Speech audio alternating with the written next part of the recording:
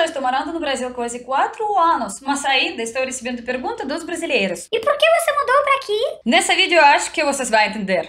Oi, gente, tudo bom com vocês? Meu nome é Olga e sou russinha que estuda português, que mudou para o Brasil e que hoje gostaria de falar com vocês sobre esse assunto peculiar e interessante. Senta que lá vem a história. Acredita em mim, eu já morei na Rússia, eu já morei nos outros países na Europa, viajei pela Europa, cheguei aqui no Brasil e posso dizer para vocês que quase na todo mundo as pessoas mais frequentemente reclamam o lugar onde eles moram, onde eles nasceram. Parece algum tipo de natureza natureza de ser humano. Detesto.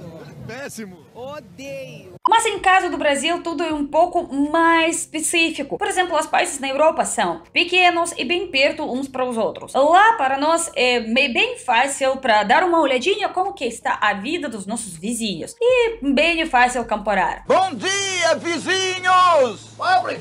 Já no Brasil é um pouco diferente. A maioria dos brasileiros mora nessa parte do Brasil, mais perto para a água, e os vizinhos mais próximos parece que são os peixes. Meu Deus, Porque alguns estados grandes, como cidade mais populosa, por exemplo, São Paulo, não tem fronteira com nenhuma outra país. Então, como os vizinhos não são tão perto dos outros países da América do Sul, Europa até mais longe, América do Norte até mais longe, tem, parece que essa ilusão que é alguma coisa que é longe pode ser lá, coisas são melhores, a grama é mais verde, o sol é mais amarelo, e tudo assim. E isso é normal. Há coisas que são longes, eles sempre parecem melhores, porque é nosso desejo natural de descobridor. Descobridor dos sete mares, navegar eu quero. Porque ser humano é assim, curioso, quer saber novas coisas, descobrir novas coisas, isso é normal, super natural. Mas no mesmo tempo,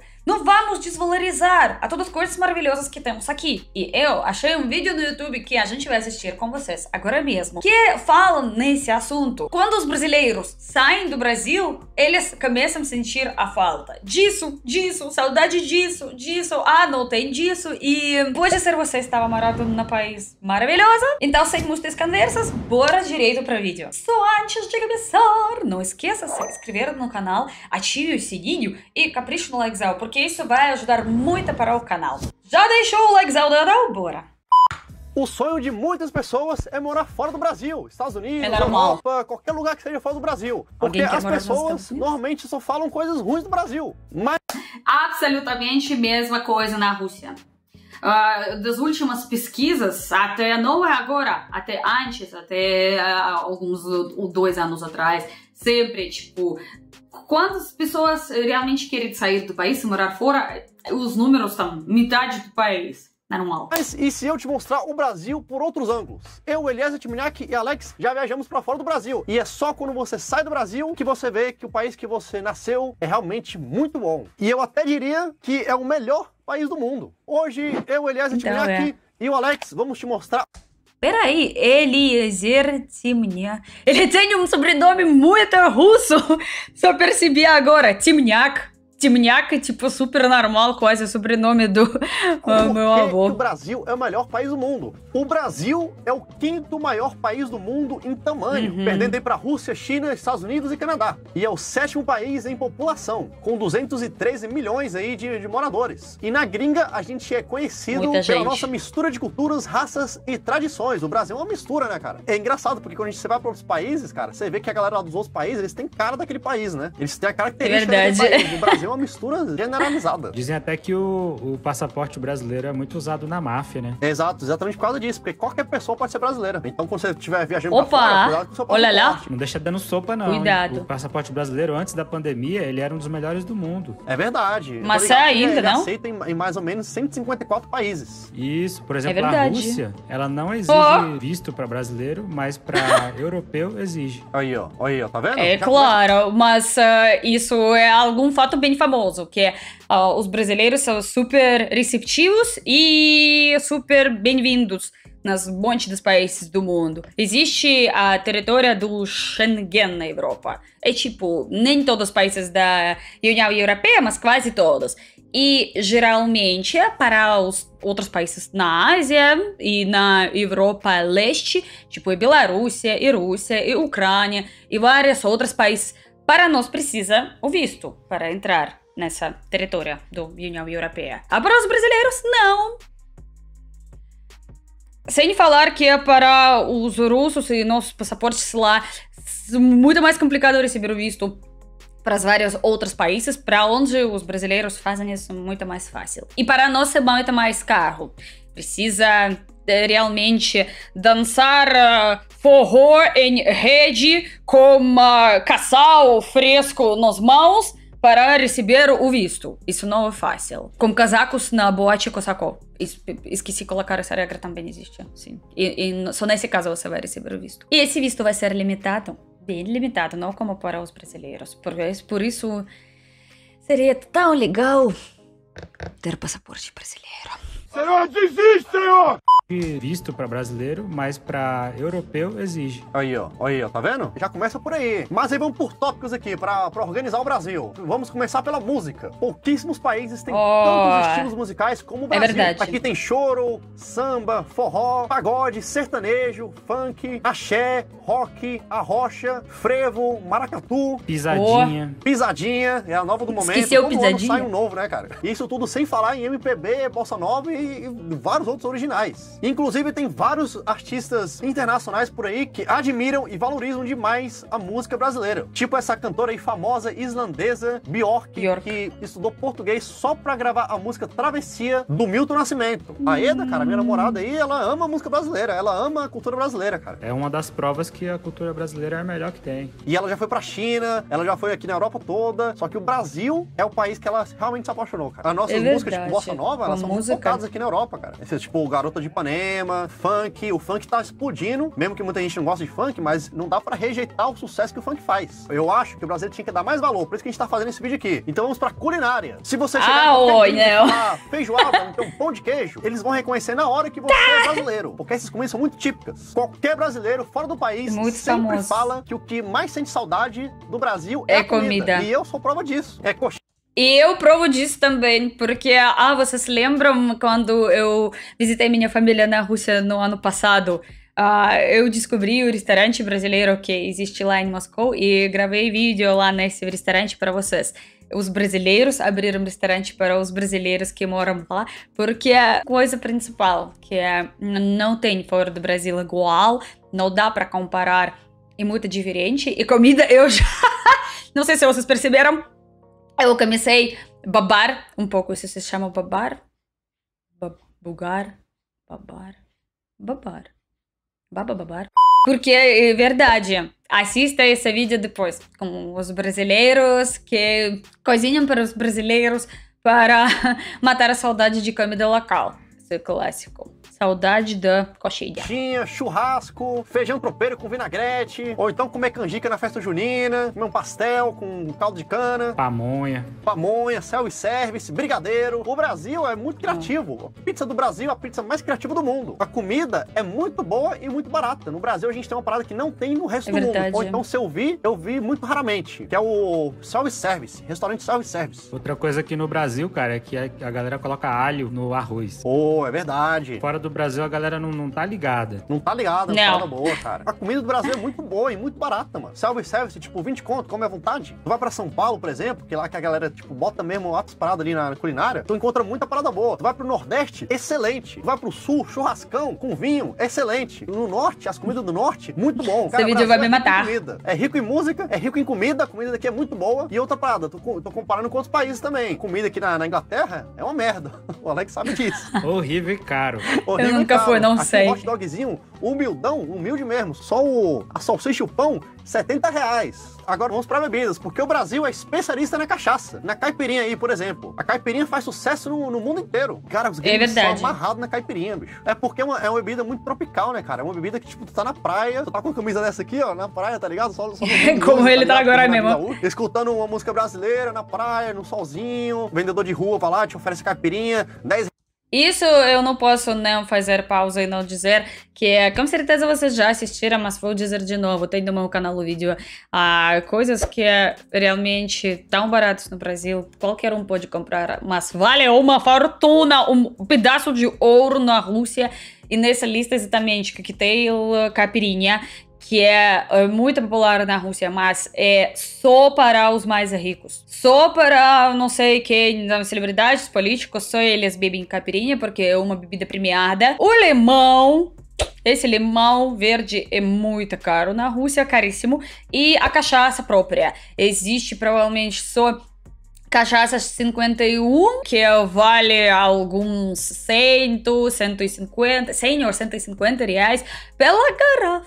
Tudo isso? E tem alguns outros, mas é tipo mais, mais, mais, mais caro. 150 reais garrafa. Pensa nisso quando na próxima vai aproveitar a caipirinha reais, 20 reais, sei lá, pro gringo é mais caro, né? E tu toma uma caipirinha lá na praia, cara. A caipirinha te deixa bêbado, te deixa alegre, é uma bebida gostosa. É a bebida brasileira do bem, né? E a, e a galera gosta. Mas além Do da bem. caipirinha, o Brasil tem os mais diversos tipos de cachaça artesanal. Cachaça de jambu, cana Oh. caiana, cachaça de jabuticaba, de seringuela, Banana. bananinha. Ah, uma minha preferida. Como que chama isso? Eh, Cinderela, cravo e canela. Não, Gabriela. Gabriela, provavelmente Gabriela. Eu esqueci. Sim, certo. O Google fala que certo. Gabriela, cravo e canela. Tem várias cachaças, tem, tem uma infinidade aí de diversidade de cachaças no Brasil. Mas se tu não for aí da cachaça, você vai pra cervejinha do Brasil. Agora, isso aí é uma originalidade do Brasil, a cervejinha no final da tarde. Porque o Brasil não é só bom na cerveja, mas é bom no que complementa a cerveja. Você tá num barzinho ali na calçada, ou então num barzinho com o pé na, na areia da praia, O copo sujo, né? Aquele copo americano. aquele copo americano, aquela mesa de é plástico, pedindo um litrão, e o litrão é barato, tipo 12 reais o litrão. Ou então aquela latinha que vem com um isopor. Aquela coisa Como brasileira. camisinha. O isopor do litrão, é só aqui que tem. Inventa- invenção brasileira. outro tem que tirar, né? E o garçom já vem e coloca outra, né? Quando você nunca sai do Brasil, você não sabe o que aqui fora não tem. Aqui na Europa, como é que é o bar aqui na Europa? Cara, é cerveja quente, já começa aí. É num pub, que, que é tipo, é fechado, não, não tem aquela música alta, não tem aquela parada assim mais, mais despojada, vai estar frio pra caramba, você não vai estar totalmente relaxado, porque tu vai no barzinho de, de Havaiana, né, cara? No Brasil. É, não tem ninguém brigando na sinuca. E Não tem sinuca, é verdade, não tem sinuca.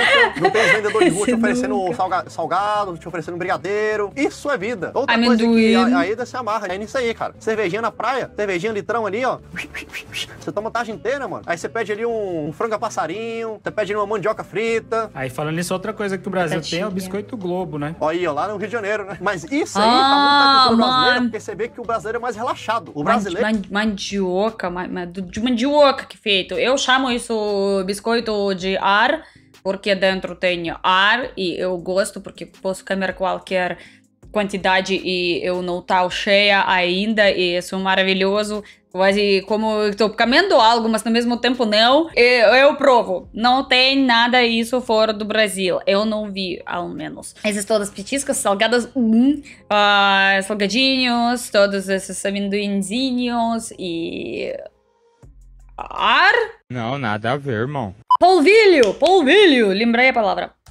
Ele quer viver a vida. Ele, ele trabalha, paga as contas dele e também vive a vida dele. Ele tem o final de semana dele que ele aproveita, ele tem ali as férias dele que ele aproveita. O brasileiro, é- ele vive a vida. Agora tu vai pra esses lugares ali, Estados Unidos, Europa, a galera meio que não vive a vida, mano. A galera meio que no Não. rush, fazer dinheiro, fazer dinheiro, fazer dinheiro e meio que não para pra viver a vida, mano. O Brasil é muito bom por causa disso também, é o estilo de vida. Tá? A gente tá relaxado. Isso tudo aí a gente só tá começando. Agora vamos aí pra geografia e biodiversidade. Aí o Brasil fica mais lindo ainda. Porque não sei se você sabe, mas o Oh. Brasil é um país extremamente privilegiado na sua biodiversidade, A nos seus gente sabe, quesitos né, gente? geológicos e climáticos. Olha só, no Brasil não há limites de placas tectônicas. Nós estamos bem no meio de uma grande placa. E é por causa desse motivo que o Brasil não tem terremotos de grande intensidade, nem maremotos e nem mesmo vulcões. Eu já senti um terremoto, cara, tava lá no, no México. Como é que foi? Eu tava na minha van, lá no México, e a van começou a mexer como se, se realmente tivesse alguém, tipo, assim, cara, na van, tipo, empurrando mesmo a van com força. Aí eu fui sair, tipo, pra- na, da van pra Eu ver nunca se, tipo, putz,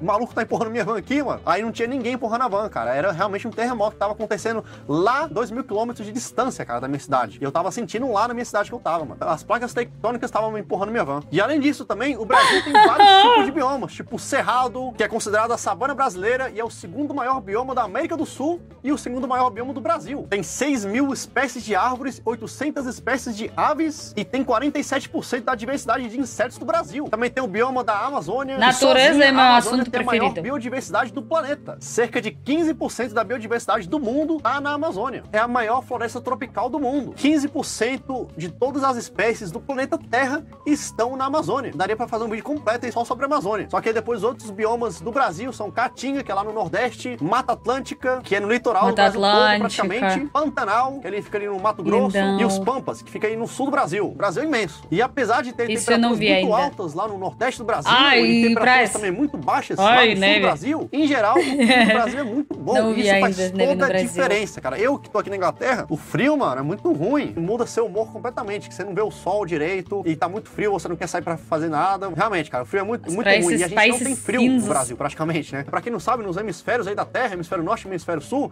quando é inverno, o dia é muito melhor do que a noite. Então um dia tem uma duração aí de 6 horas apenas, das 10 da manhã até as 4 da tarde. Imagina isso no Brasil. Isso te traz uma depressão sinistra. Você fica com depressão, cara. Você fica triste. Você fica frio. Por isso que tem esses países aí, eles falam que a galera é fria, né? E o Brasil não tem isso. O Brasil Clima que é afeita. isso. Isso é, cara, isso, é- isso faz uma diferença sinistra. Então, o clima do Brasil é uma coisa invejável. E depois, outra parada que é invejável também, É o. Brasil tem uma das melhores economias Ah, antes de mudar o assunto, e por enquanto a gente está na clima ainda, eu percebi, lembro que quando eu viajei para a Rússia, postei nosso pôr do sol, nascer do sol, as pessoas ficaram surpreendidas. E essa é uma coisa que não acontece no Brasil, por isso surpreende os brasileiros. Aqui no Brasil, quase sempre o dia e noite, eles são com o mesmo tamanho, podemos dizer assim, o pôr do sol mais ou menos no mesmo tempo o ano inteiro.